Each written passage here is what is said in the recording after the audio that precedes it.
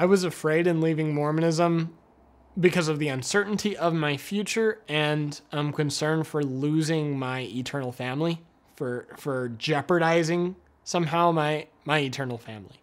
I would love to have an eternal family in in the sense that, you know, Mormonism promises it, but they promise it in a perversion in a, in a perverted way that they can't actually fulfill, they can't sustain because it perverts what God has planned. God instituted family and, and marriage and childbearing, but it is temporary it's a temporary picture. Marriage is a picture of Christ's union with his bride, and the hope is that future fulfillment at the wedding supper of the Lamb, um, rather than um, my relationship with a human being. It's my relationship with God and her, my wife's relationship with God. So the point of marriage is to it is a picture of God's relationship with his bride, and it is something that God has said is good. It is not good that man is alone, um, and he is appointed for, for marriage between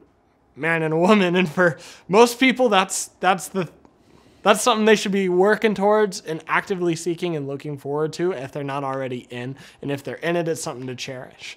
And the blessing of giving birth to children is also a picture of God and His children, the children of the light that He um, He brings newness of life to by His grace and His power.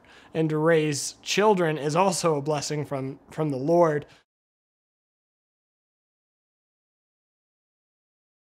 I have brothers and sisters all over the world, um, in, in, remote parts of the world that the gospel has reached people who don't look anything like me, who can't speak the same language, that have been redeemed by God's grace from every nation, tribe, and tongue, and will continue to be redeemed and will continue to be grafted into an eternal family